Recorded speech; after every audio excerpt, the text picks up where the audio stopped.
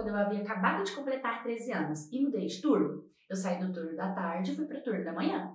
As meninas da minha sala eram muito legais, mas eu não sabia que elas eram pessoas bem fora da minha realidade. Tipo, eu tinha apenas 13 anos, eu só tinha gato sair na minha vida, enquanto as meninas da minha sala já tinham beijado, namorado, e uma dessas amigas minhas já tinha até perdido a virgindade com o namorado dela.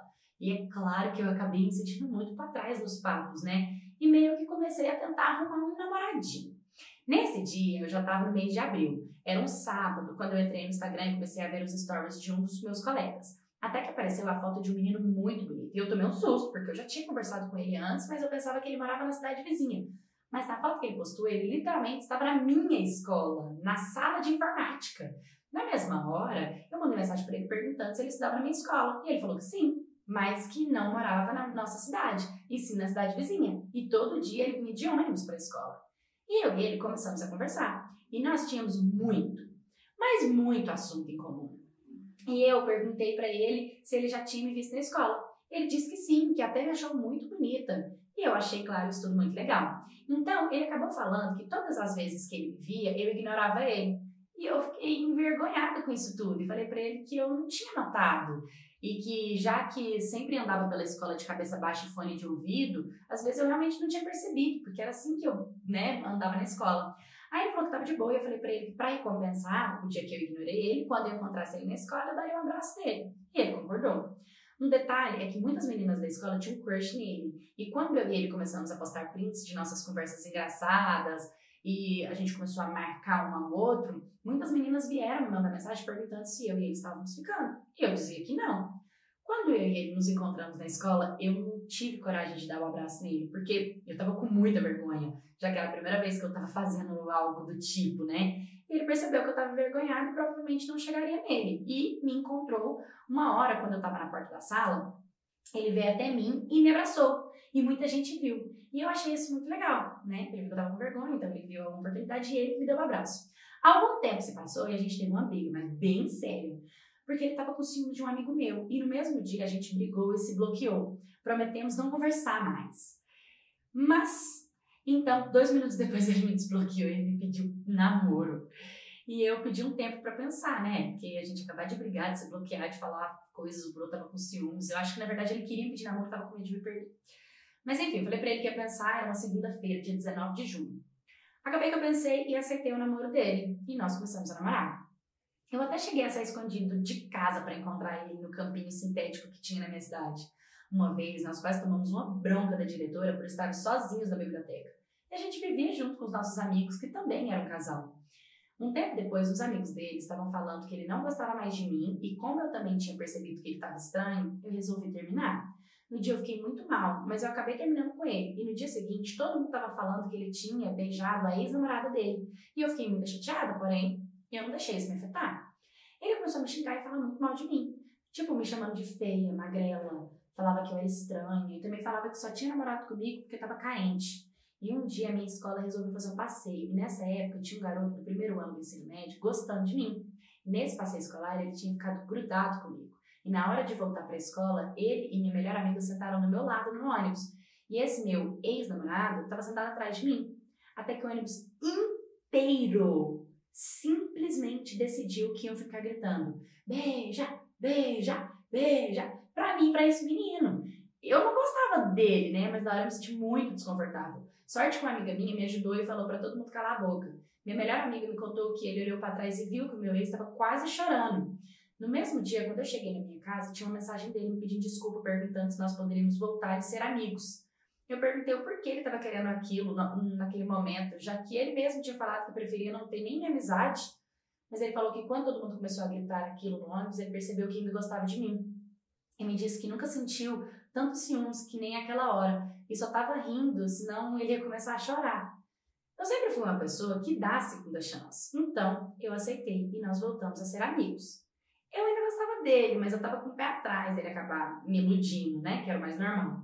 Mas depois de algumas semanas, eu cedi, porque ele estava fazendo de tudo para me conquistar de volta, para me aproximar de mim, começou a ouvir minhas músicas preferidas, pedia para ficar junto comigo na escola, me abraçava todo dia, era muito carinhoso comigo. E nessa mesma época entrou uma menina nova na sala dele.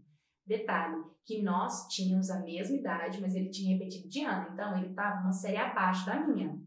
E eu não sei porquê, mas quando eu olhei para essa menina pela primeira vez, eu comecei a me sentir insegura. E eu fui conversar com ele, perguntar se a menina estava bom para ele. E ele falou que sim, mas que ele não estava nem aí para ela. E eu, claro, acreditei. No final, eu e essa menina acabamos virando muito amigas, porque eu descobri que ela morava no mesmo bairro que eu. E era um trio, eu, ela e a minha amiga, que me salvou no ônibus. Até que chegou o dia do aniversário da cidade e minha escola fez um desfile. E eu e esse meu ex que tinha voltado a ser meu namorado, combinamos que iríamos juntos nos desfiles, junto com os nossos amigos que também era casal. Porque a menina era uma das minhas melhores amigas e o namorado dela era um dos melhores amigos do meu namorado. Então era muito legal quando tava nós quatro. E todo mundo sempre passava, via a gente agarrado e falava, ai que legal, pra trepar e tal, né? Ok. Quando o desfile acabou, nós acabamos sentando num banco da praça. Porém, só cabia três pessoas. Então, eu meio que envergonhada sentei no colo do meu namorado.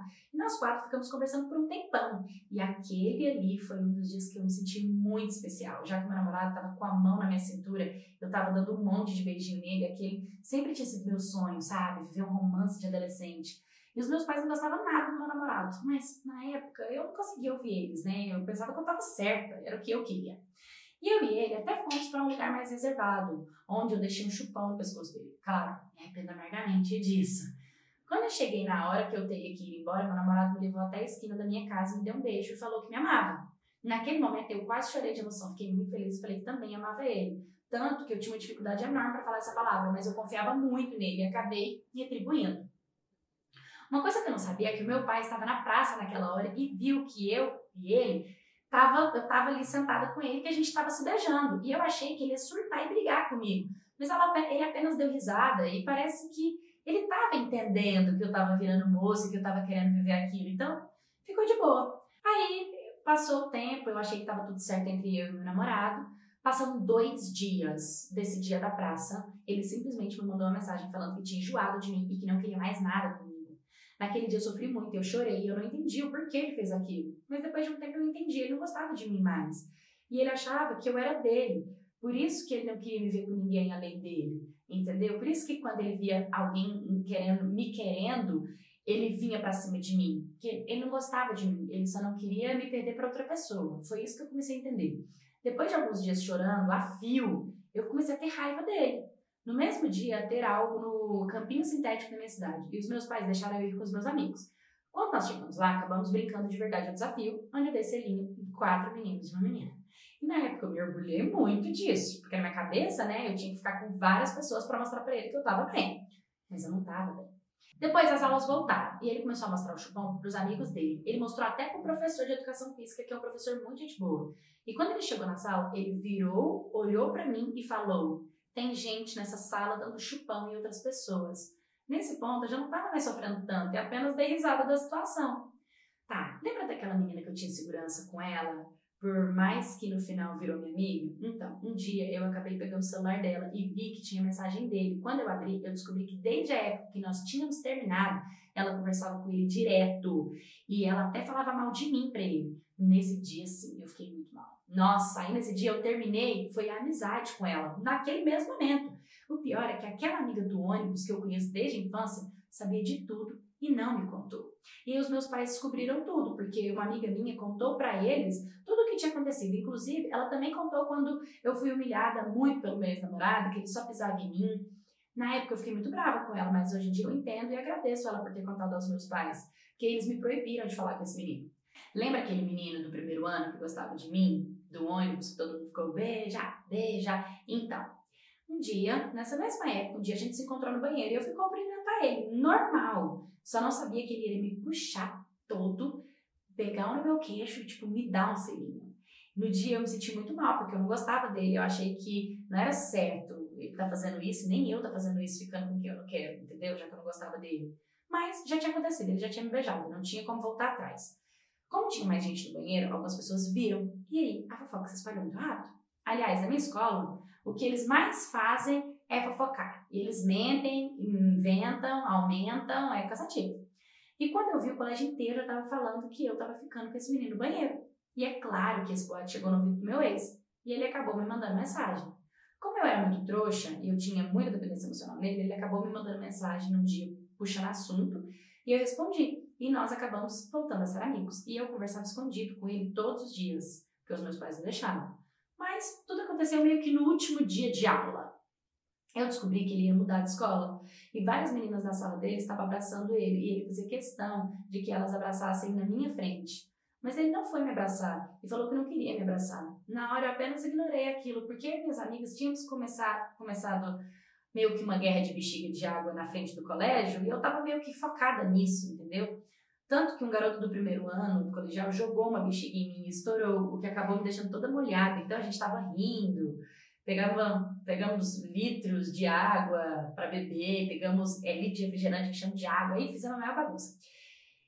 Aquele dia foi muito bom. Mas quando eu cheguei em casa, eu me derramei em lágrimas, porque eu sabia que aquele era o último dia dele no colégio e ele estava me humilhando o tempo inteiro daquela forma, sabe? E também sempre buscou me deixar muito magoada. E eu fiquei uns três dias chorando. Então, entrou as férias, eu finalmente coloquei a cabeça no lugar para pensar. E eu percebi que ele estava fazendo muito mal, porque quando eu me afastei dele, eu melhorei muito. Além de estar mais feliz, muitas pessoas falavam que eu tinha recuperado a minha essência, que eu tinha um brilho nos olhos. E naquela época eu também parei de me mutilar. Todo mundo falava que eu estava bem melhor depois que eu terminei. Hoje em dia eu tenho notícias dele, sim. Eu sei que ele fala para todo mundo que sente muita falta de mim, que vacilou muito comigo, porque eu fui uma das únicas garotas que realmente amou ele, mas eu tô muito melhor e muito bem sem ele. A mensagem que eu quero deixar aqui no final é que, por favor, adolescentes, principalmente meninas que estão passando pela fase dos 13 anos, não deixe se iludir por um amor de adolescência, principalmente se o garoto for babaca. Viva uma adolescência de vocês aproveitem muito e sempre escute os conselhos dos pais de vocês. Oi, cat, tudo bem com vocês? Hoje eu trouxe essa história também de escola, também de adolescente, que sei que vocês gostam muito. É, achei bacana o fato dela entender que quando ela se afastou dele, ela voltou a ser feliz, ela voltou a sorrir, ela voltou a ter um brilho no olhar, ela voltou à essência dela. E hoje eu convido você a fazer essa análise. Você sente que você tem um brilho no olhar? Que você tá com a sua essência vibrando, que você tá sendo você, você tá sendo feliz? Ou será que o seu relacionamento está tirando esse brilho de você e te colocando num lugar onde você não merece estar? Faça essa análise me manda sua história para contar no canal. Deixa nos comentários o que você achou desse vídeo.